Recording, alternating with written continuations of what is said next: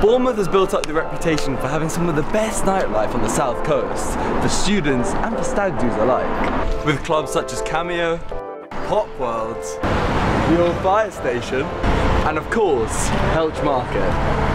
But behind all the big clubs and long queue lines, there is still an underground scene that is slowly growing. Come on, let's go take a look. So Lucas, what is your role in the society?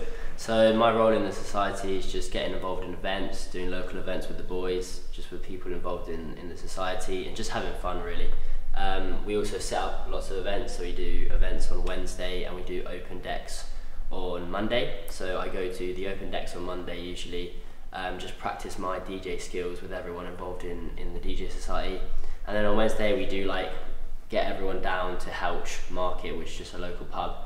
And there we get the decks out and we just kind of have a little mix all together doing like a long set of anyone that wants to do that so yeah. Um, we let you know loads of people get involved and we just want to let everyone just have fun and just get to know what DJing is because I just fell in love with music so yeah.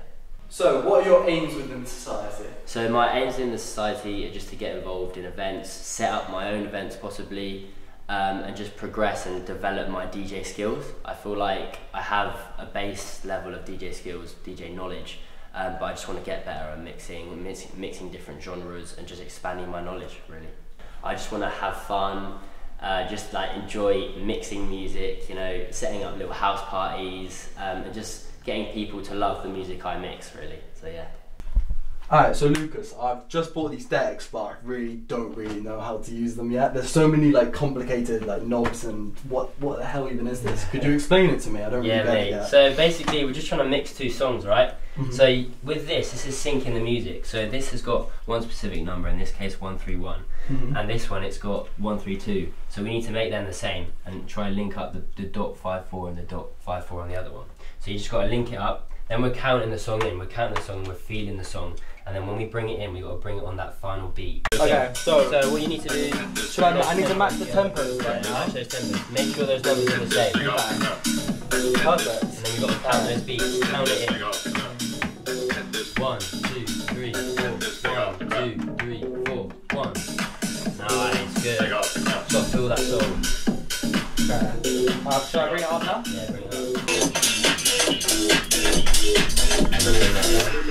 down. Nice. Yeah, use that fader Okay. effect just to transition the songs easier. Am I getting it or not really? Yeah, you're doing really well.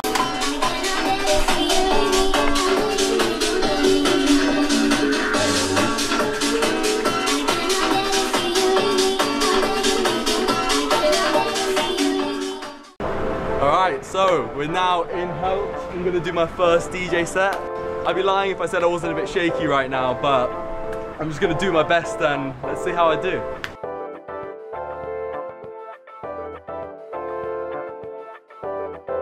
Alright, so basically we've run into a bit of an issue right now. Not ideal for my first set. Our USB is corrupted, so we can't actually see when the songs are gonna match up because there's a before beats in a, in a beat grid and we can't match up, so we've got to do everything by ear. So right now we're playing everything by vinyl. Not only has the USB been corrupted, but now the speakers have also just broken. The speakers, the big JBL speakers, they're completely broken. Um, we're trying to make it work at the moment. So making it a lot more difficult, but we're doing what we can and we're making it work.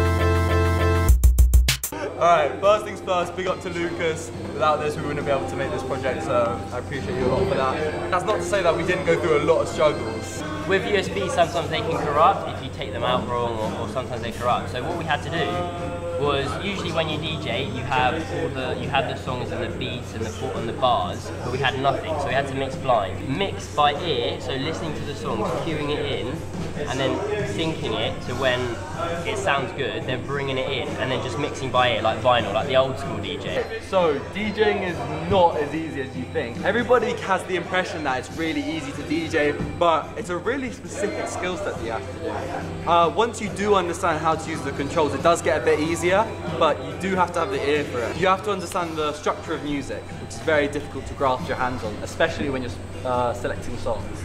Um, but yeah, people need to put more respect on DJs. Uh, this was a really fun experience, and yeah, cool.